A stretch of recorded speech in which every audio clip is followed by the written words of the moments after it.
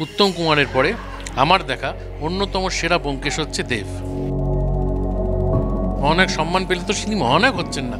তাকে স্মরণ করে একটা পুরস্কার দেওয়া হচ্ছে। জীবনে সব স্বপ্ন তো এক জীবনে পূরণ হয় না। বলে আক্ষেপ করে কোনো লাভ নেই। বিবাহ খারাপ নয়। আমি বিবাহর যোগ্য নই। সেই জন্য আমি বিবাহ করি। নমস্কার প্রথম কলকাতায় আপনাকে স্বাগত এবং আমার স্মাইল দেখে আপনি বুঝতে পারছেন I am so much excited তার কারণ আজকে আমি যার পাশে বসে রয়েছি তিনি খাদ্য রসিক আবার তিনি অসাধারণ অভিনেতা। কার কথা বলছি? আপনাদের সবার প্রিয় Ambarish Bhattacharya. Ambarish da welcome thank you thank you আমি বলছিলাম না খাদ্য রসিক কেন বলছি? একটু দেখিয়ে দিতে রিকোয়েস্ট করব প্লিজ সবাই ভাবে যে এই অভিনয় করতে গেলে শরীর ঠিক রাখতে হবে। এবং জাতা খাওয়া যাবে না তেলে ভাজা খাওয়া যাবে না। আর আমি আজকে তোমার সাথে যখন ইন্টারভিউ করছি তখন তোমার সামনের টেবিলে শাড়ি দিয়ে তেলে ভাজা। না আমি অন্য কনসেপ্টে বিশ্বাস করি। যারা শরীর ঠিক রাখতে চান তো বটেই শরীর চর্চা করে। আমার মনে হয় আমার মস্তিষ্কটা ঠিক রাখা দরকার অ্যাক্টর হিসেবে। তার জন্য মস্তিষ্কের একটা চর্চার প্রয়োজন। এবং মন ভালো থাকে তখনই যখন প্রাণটা জুড়োয় আত্মাটা জুড়োয়।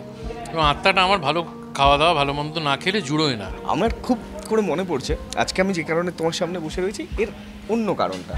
দেবের একটা সিনেমা এবং সেই সিনেমার প্রেস কনফারেন্স হচ্ছে এবং সেখানে অম্বরীশদা তুমি বলছো এখন তো বুঝতে পারছেন না যখন বেরোবে তখন বুঝবেন। অজিত কিরম ফাটিয়ে দিয়েছে তখন আপনারা অন্য কথা বলবেন। সব দিক থেকে বেড়েছে সবচেয়ে ভালো অভিনয় বেড়েছে ফাটিয়ে দিয়েছি আমি আপনি ভাবতে পারবেন এগারো তারিখের পরে না? কেউ কোনো কথা বলতে পারবে না এই অজিতের পারফরমেন্স দেখে। তুমি দেখেছ এই এই এটা কিন্তু ভাইরাল হয়েছে। হ্যাঁ ভাইরাল হওয়ার মতোই তো একটা বক্তব্য। কনফিডেন্স সবাই পছন্দ করেন। আমি খুব কনফিডেন্ট আমার কাজ সম্পর্কে। তো সেটাই আমি বলেছি যে যারা অজিতের চেহারা নিয়ে মানে সংকোচ প্রকাশ করেছেন উদ্বেগ প্রকাশ করেছেন তাদের উদ্বেগটা ভুল নয়। সেটাও আমি বারবারই বলার চেষ্টা করছি।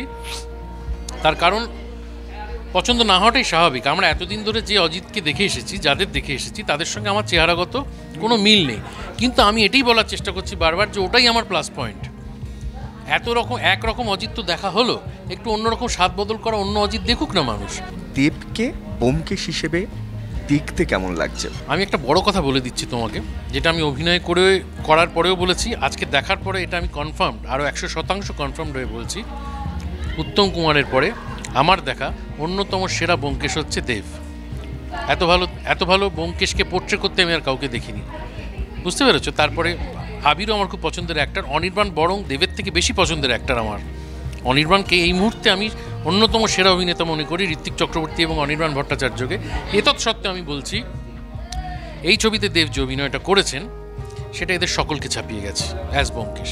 একসময় দেবকে যখন মহানায়ক ওই অ্যাওয়ার্ড দেওয়া হয়, সেটা নিয়েও মন্তব্য হয়েছিল। আর আজকে কোথাও গিয়ে তুমি একটু আধটু প্রমাণ করে দিচ্ছ, অ্যাওয়ার্ডটা হয়তো ঠিক লোকের হাতেই গেছে। মহানায়ক সম্মান পেলে তো তিনি মহানায়ক হচ্ছেন না। তাকে স্মরণ করে একটা পুরস্কার দেওয়া হচ্ছে। এবার দর্শকের মনে হতে পারে, এ যোগ্য কি যোগ্য নয়। প্রত্যেকেরই অধিকার আছে সেটা বলার। কিন্তু অ্যাওয়ার্ডটা নিয়ে মন্তব্য করার কোনো কারণ নেই। ও অ্যাওয়ার্ডটা পেল বলে ও মহানায়ক উত্তম কুমারের সমান হয়ে গেল, এটা নয়। উত্তম কুমারের সমান কেউ হতে পারে না। উত্তম কুমার একজনই সেই জন্য তো তার স্মরণে আজ পঁয়তাল্লিশ বছর পরেও একটা অ্যাওয়ার্ড দেওয়া হচ্ছে। আমি আরেকটা জিনিস জানি সেটা হচ্ছে যে অম্বরীশদা শুধু অভিনয় নয় অম্বরীশদা খুব করে চেয়েছিল তার ব্যান্ডটাও এইভাবে একটা প্রভাব বিস্তার করুক। কারণ এটাও তো তোমার একটা স্বপ্ন ছিল ওটা বড়। এক জীবনে সব স্বপ্ন তো এক জীবনে পূরণ হয় না। বলে আক্ষেপ করে কোনো লাভ নেই। আমি যে অভিনয় করে অভিনয়টা আমি ইকুয়ালি পছন্দ করি গানের মতো। অন্তত একটা জায়গাতে যে আমাকে মানুষ চিনেছে বা তুমি যে আজকে আমার গানের কথা বলছো এটাও তো এক ধরনের স্বীকৃতি দেয় আমার গানকে। আমি জানি তো অনেক মানুষই আমার গান শুনতে ভালোবাসেন। সেটাই তো প্রাপ্তি বলো তো এবং আমাকে অ্যাক্টর হিসেবে যে মানুষ এত পছন্দ করেছেন আঠেরো বছর ধরে আমাকে দেখছেন এরপর আমার আবার কিসের আফসোস থাকবে? সব পেতে হবে এক জীবনে। মানে আমি অভিনেতা হিসেবে প্রতিষ্ঠিত হব গায়ক হিসেবে প্রতিষ্ঠিত হব সব এক জীবনে পাওয়া যায় না। রাজনৈতিক ব্যক্তিত্বরা অভিনয় করছে। সম্প্রতি মদন মিত্র হ্যাঁ, তিনি অভিনয় করছেন। তাহলে তুমি বলছো এক জীবনে সব কিছু হয় না কিন্তু আবার একই ধারে এক জীবনে অনেক কিছু পাওয়ার চেষ্টা করতে তো কোনো অসুবিধা নেই। মদনবাবু যদি অভিনেতা হওয়ার চেষ্টা করেন তাতে কোনো আপত্তি নেই। দর্শক বলে দেবে শেষ কথা। ওনার অভিনয় যদি ভালো না লাগে দর্শক রিজেক্ট করে দেবেন। বা যারা অভিনয় জগৎ থেকে বা ক্রীড়া জগৎ থেকে রাজনীতিতে যাচ্ছে তারা যদি ঠিকমতো কাজ না করতে পারে পাঁচ বছর পরে কিন্তু বোতাম টেপার স্বাধীনতা আমাদের আছে। আমরা কিন্তু তাকে অন্য বোতাম টিপে তাকে হারিয়ে দিতে পারি। তো ফলে তাকে সবসময় নিজেকে প্রমাণ করতে হবে। এইটা মানে দিনের শেষে তোমাকে কাজ করতে হবে কাজ করে প্রমাণ করতে হবে কাজটাই শেষ কথা। আমি তো বলছি তোমাকে তুমি বলছো যে এর কোনো প্রথাগত শিক্ষা নেই এর কোনো পরিশ্রম নেই। এমনও হতে পারে অনেক সময় প্রথাগত শিক্ষা বা পরিশ্রম ছাড়াও একটা মানুষ যা পারফর্ম করবে সেটা মানুষের ভালো লেগে যাবে। মানুষের কোনটা ভালো লাগবে না আমরা জানি না। দিনের শেষে যদি তার পারফরমেন্সটা যথাযথ হয় তাহলে ম্যাটার করে না সে রাজনীতির লোক না ক্রীড়া জগতের লোক। অভিনয় করে মানুষকে যদি মনোরঞ্জন করতে পারে, তাহলেই সে সার্থক। আর যদি মনোরঞ্জন না করতে পারে, সে যদি বিখ্যাত বাবার ছেলেও হয়, বিখ্যাত অভিনেতা বাবার ছেলেও হয়, তাহলেও সে হালি হালে পানি পায় না।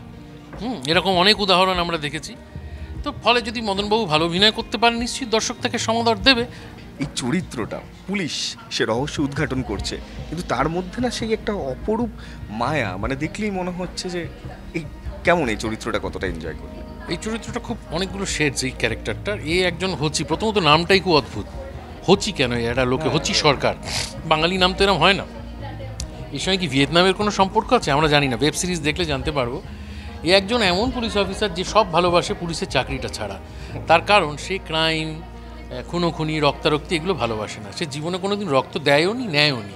একবার ব্লাড গ্রুপ জানতে শুধু রক্ত দান করেছিল আর জীবনে দেয় রক্ত মারামারি খুন এগুলো তার অপছন্দের বিষয়। সেরকম একটা লোক বাধ্য হয় এই কেসটা টেক আপ করতে। কুমুদিনী ভবনে একটি মেয়ের রহস্য মৃত্যু হয় এবং ওপর মহল থেকে বড়বাবু বলে এই কেসটা তোমায় সলভ করতে হবে। তখন এই হাবুডুবু খেতে শুরু করে এবং তখন তার জীবনে অনুশ্রী বলে এই অদ্ভুত মেয়েটি প্রবেশ করে, যে এসে বলে, আমি ব্যোমকেশের মতো একজন গোয়েন্দা হতে। এবার এরা দুজনে মিলে কি খেলা খেলবে, আদৌ সমাধান করতে পারবে কিনা, এই কনসেপ্টের মধ্যেই তো একটা অদ্ভুত অন্যরকম ব্যাপার আছে, মজা রয়েছে। এই যে তোমার জীবন, এই জীবনে এমন কোনো কাজ কি করতে হয়েছে, যেটা তোমার ইচ্ছে ছিল না? কিন্তু হয়তো করেছ। না, আমি জীবনে এমন কোনো কাজ করিনি যেটা আমার ইচ্ছে ছিল না। সেই জন্য আজও আমি অবিবাহিত। এটি সবচেয়ে বড় প্রমাণ যে আমি প্রাতিষ্ঠানিকভাবে বিবাহ বন্ধনে আবদ্ধ হইনি, তার কারণ আমি কোনো বন্ধনে বিশ্বাস করি না। এটা আমার ব্যক্তিগত একটা বিশ্বাস। এটা, এটার সঙ্গে বিবাহ নামক ইনস্টিটিউশনের কোনো দ্বন্দ্ব নেই কিন্তু। এটাই প্রমাণ করে যে আমি যেটা আমি যেটা চাই না বা যেটাই বিশ্বাস করি না সেটাই জীবনে আমি কখনো করিনি। আমি টিল ডেট আজ অবধি কোনো রকম কোনো কম্প্রোমাইজ আমার জীবনের সাথে করিনি। তোমার কি মনে হয় বিয়ে করলে কম্প্রোমাইজ করতে হয়? আমার ক্ষেত্রে আমি যেরকম চারি- চরি- চরিত্রের মানুষ আমি খুব স্বাধীন স্বাধীনচেতা একজন মানুষ এবং আমি কৈফিয়ত দিতে খুব একটা ভালোবাসি না আন্ডারস্ট্যান্ডিং এ যেতে ভালোবাসি না।